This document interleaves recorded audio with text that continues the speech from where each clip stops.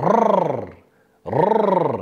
Bă, vinerea e obicei românesc, să cam uh, face dragoste cu buha. Dar noi nu avem de ce, nu avem pentru ce, pentru că suntem la o nouă cafea într-o atmosferă călduță, ca o cameră de cămin studențesc. S-au întors studenții în bănci, vă dați seama. Din unele cifre știu că au fost de vreo 5 ori la facultate studenții, cei din anul întâi, și de vreo 10 ori la KFC și la McDonald's. Lasă-o încolo de zacuscă, că mai mâncăm noi pită cu untură în sesiune. Acum dă cu cu rupe el! Până avem uh, bani, că începe luna Brumărel, suntem în Brumărel, adică mai avem o brumă de bani la noi să ne plătim facturile. Că după aia ce ne arde electrica, zi Vlade. Zi, nu mai contează, cu bruma de bani ne punem murături peste iarnă. Că nu... am pus murături, te-ai pus? Pașareți. Nu poți să... nu poți fără murături, dragul meu, că lângă friptura de porc ce merge cel mai bine? Zi, Vlade. Niște roșii de alea puse la borcan Mm? gogoșar, moraz, feclă, țelină, tot ce ai nevoie. Și după aia mai vedem noi cu facturile la electrică, nu ne interesează. Că domnul Becali, domnul Gigi Becali ne-a dat un sfat, el a zis așa, când am făcut dragoste prima dată, aveam în picioare ciorap de lână. Alea senzații tari. Știți filmele porno nemțești din anii 70? Acolo era lâna mai sus puțin. Te gândești că dacă în tinerețe Gigi Becali o purta la primul lui amor sexual făcând dragoste înăuntru? Dar nu cu oaie. Nu, nu. Ce oaie, bă? Stăteam două picioare. Uh, oaia? Oaia. Și el?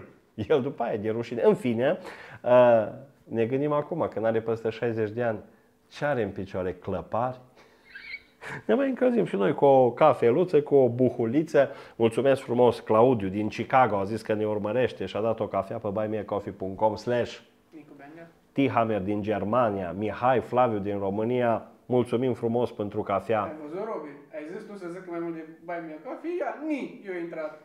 .com slash Nicu Bendea. Astenie de toamnă, ci că să nu o confundăm cu depresia.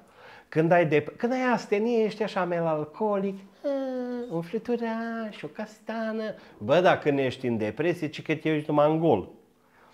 Am uitat și la portofel și vezi că e cam gol. Dar nu-i nimic, guvernul dă bani celor care țin porci. Toată România o să primească bani. De ce? Că noi îi ținem pe porcii din Parlament. Hă? Nu vi se pare? Toți o să primim bani pentru porcii din Parlament, corfos de la PSD, de la PNL, de la AUR și ori vota măriri de salarii și de pensii. Da, nu li rușine, ieșim în stradă. Au ieșit ăștia la meetingul, uite-te că m-am dat așa să fiu ca Simion, a? au ieșit ăștia de la AUR la meeting, au fost mai puțin ca la mormântarea lui Arșinel. Bă, lasă încolo. Nu ești chiar așa, nu. Apropo de Bianca Drăgușanu, uh, Bianca Drăgușanu nu are nevoie nici de bani, nici de factură, dacă are un pic de... A fost pozată în Thailanda de iubitul său bădălău, care îi dă bătălău, a fost pozată pe doi elefanți. Mă, da câtă trompă îi trâbă la asta. Fil de cu trompa o să înfunde Europa. Un șofer de tir din România a fost prins în Olanda cu două tone de cocaină. Zice, nu, că e numai pentru mine.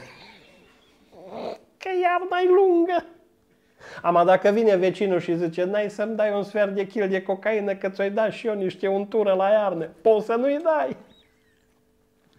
Dar cum să ai două tone de cocaină și să nu suni un prechin? Te pupăm, domnul Mutu, faci treaba bine la rapid și tot uh, păstrând proporțiile, un tir plin cu jucării sexuale. Asta e de la cocaină.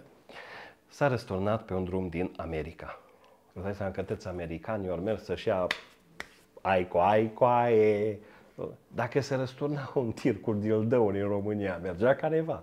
Dacă se răsturna un tir cu beri, no, toți românii erau acolo. Dacă se da, op, și eu acasă.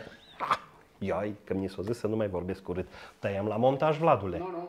Nu, nu. Atunci, vorba aia cu un dildo, toți suntem datori. Mulțumesc frumos pentru cafelele oferite pe buymeacoffee.com slash Bende. Urmăriți-ne în continuare pe YouTube, pe Facebook și pe... TikTok. TikTok, atât!